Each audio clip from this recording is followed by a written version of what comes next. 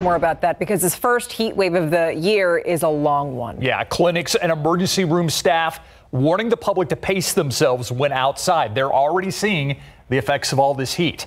The night team's Patty Santos talks to a doctor to find out the warning signs that could just save your life.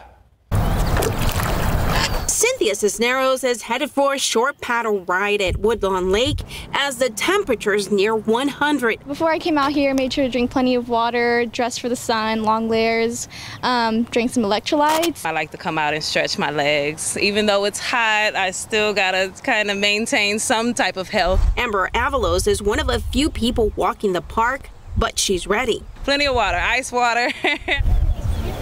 Medical staff say not everyone is following heat safety rules. Since Monday, Baptist Health System says it has treated about 10 patients across the city with heat related illnesses. At the University Hospital ER, that number is about seven. Feeling funny, feeling weak and tired, nausea, vomiting.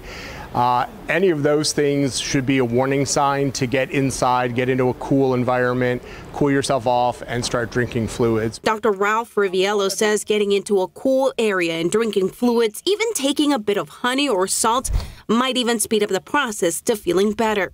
Because you want to replace that electrolyte.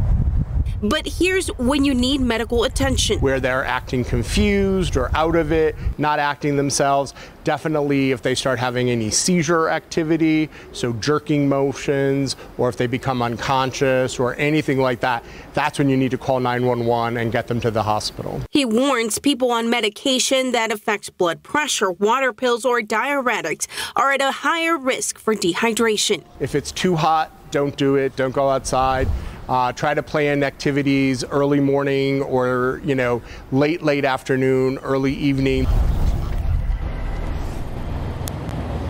Steve Stefaniva, when we were out doing this story, the temperature was just unbearable, and yet we still saw people out there running and exercising in that heat. Bottom line, doctor says, don't push yourself because a heat stroke could lead to problems with your liver, your kidney, even brain damage. We'll send it back to you. Thank you so much, Patty. We want to let you know there are tons of places to beat the heat here in San Antonio, though. This is a map you can find on the city's website full of libraries, gyms, splash pads, and of course, public swimming pools.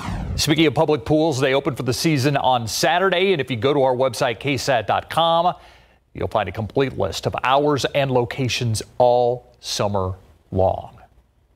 Keep up to date with all of San Antonio's top news, weather, and so much more by clicking the like and subscribe buttons below. And once again, thanks for watching KSAT.